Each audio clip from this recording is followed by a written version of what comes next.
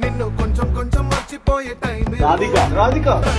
అయ్యో సారీ చాలా మంది వచ్చినట్టు టికెట్ మన సినిమా ట్వంటీ థర్టీ రిలీజ్ మీకు ఏ టికెట్ కావాలి? అవును తెలుసు. ఎయిటీన్ పేజెస్ టికెట్స్ కావాలి కదా.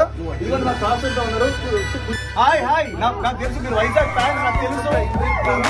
వచ్చాను. కొంచెం కొంచెం మర్చిపోయే టైం ఇప్పుడు